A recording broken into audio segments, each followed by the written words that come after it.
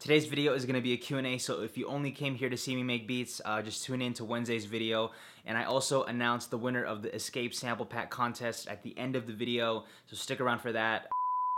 What's up everybody? Chris Punsalan here, back with another video. First, shout out to the homie DeShields, always uh, supporting me and um, been supporting me for a really long time. Not sure if somebody has asked you this before, but what slash when was the defining moment when you knew music was your calling and did you learn any instruments in school? I don't know if there's a defining moment um, where I knew music was my calling, but I do have a specific memory. Uh, a couple years ago when I was working at my college. I would have to go to work at 9 and I would go to the gym at like 6 and then right after the gym I would come home and make as many beats as I could before I went to work. And I just remember at like 8.45 um, I would be stressing out because like I'd have to go to work but I'd want to stay home and make music um, so I remember that was when I really, really wanted to figure out how can I make this a full-time gig. Did I learn any instruments? Um, in middle school, I was in orchestra, so I played the violin for three years. And uh, a few years ago, I took piano lessons for like three months. Other than that, that's pretty much it. Fuck, I have the wrong shirt. There we go. Since you have a following now, have you been hit up by a rapper for a beat? And if so, have they paid their producer? Um, a few rappers have hit me up. Nobody, uh, I mean, I guess one. I mean, I, can't, I guess I can't talk about that yet. But yes, mostly all of the rappers and singers that hit me up pay their uh, pay for their beats. But I do have a funny story. Uh, a couple years ago, when I first started really trying to sell beats, um, um, I hit this I hit this person up asking if they wanted to purchase some beats, and they pretty much just told me um, that I need them more than they need me, so they're good on purchasing beats for me. And I actually saved the email in a folder. Um, shout out to Wade, Logan. That's who these next two shirts are going to. Fuck, I forgot the note.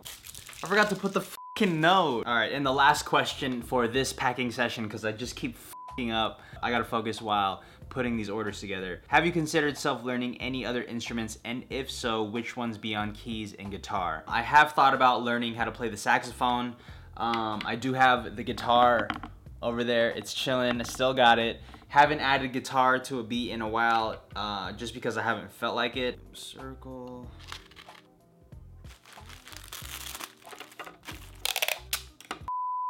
Can you tell us music theory that you find to be the most helpful to create music? I've said this a bunch of times and I've sent it to a bunch of people already, but Michael New's How to Fit Chords video is has been the most helpful video I've ever watched and it gave he gave me tips that I could immediately immediately apply to my production and he basically just teaches how to fit chords uh, how to take a scale and how to figure out all of the chords in that scale and how to just make them all work. Click the link in the description to go and watch that. Also, the Circle of Fifths uh, video that he made is also super helpful. Do you prefer making hype, turn up beats, or chill slash lo-fi beats? It really just depends on the mood that I'm in. It's heavily dependent on the last song that I just listened to. So if I wanna make some hype shit, then I'll listen to some hype shit to make some hype shit. If I want to make some chill shit, then I'll listen to some chill shit and make some chill shit. M wavy, XL wavy. What is your favorite song slash album at the moment? Favorite album is Astroworld by Travis Scott, and my favorite song at the moment is probably Pretty Girl by Felly. Uh, he just dropped it last night, and I've been listening to it non-stop. I'm a fan. Every time you leave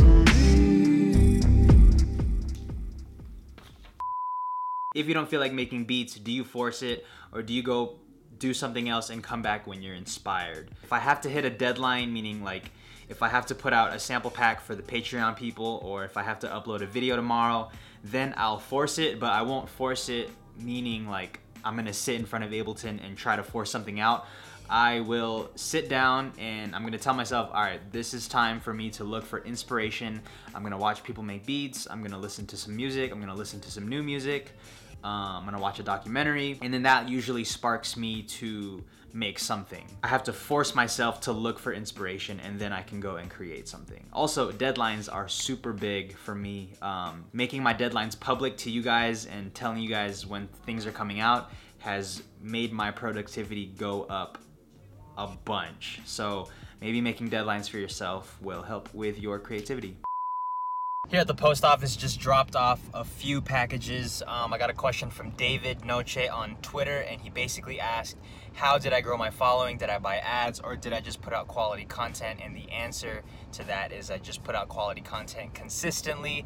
I've been putting out content on YouTube for four to five years now. I just started focusing around music maybe two years ago. Um, but consistent quality content and quality is subjective. So, I mean, whatever your definition of quality is, put out content that I like around what I like, which is music. Interacted with everybody who interacted with my content and just kept building, growing, and staying patient. And I know that's like not really great advice for somebody who wants like a quick fix, but there's literally no quick fix unless you like buy followers, which is fucking whack if you do that. But putting out consistent quality content and just staying patient and staying true to who I am and not trying to be like anybody else and just understanding that if I stay true to who I am, there are people out there that will gravitate towards the content. Thanks for the question.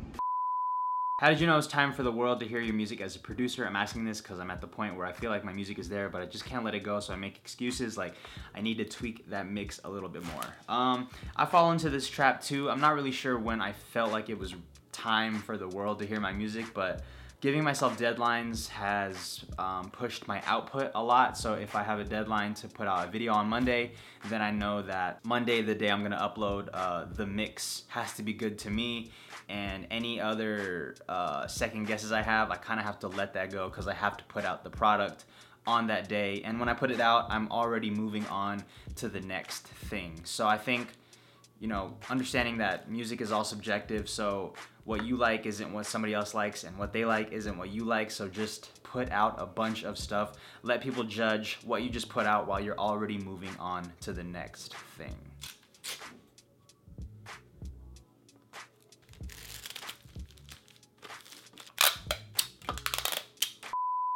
Have you ever tried FL Studio and what was your first DAW? Yes, I've tried FL Studio. FL Studio was actually the first DAW that I ever downloaded. Uh, I downloaded FL Studio and then I bought like this MPD 28 or something and I gave up after a day. How do you prepare your workplace before recording? Um, right now, I just make sure that you see all of the equipment in the background so that you guys uh, remember that I am a music producer. Um, I'm joking, but also, I'm not really joking. How much do you hate country music on a scale of 1 to 10? Actually, I enjoy country music. Um, when I don't have access to like using an aux cord or I only have access to the radio, I do actually listen to the country station here in Las Vegas, which is 95.5, The Bull. I don't know, I, I enjoy uh, country pop, I guess. Alright guys, I'm going to end it there. Uh, a little bit of a different video today. I hope you guys enjoyed this one and got some insight into my life.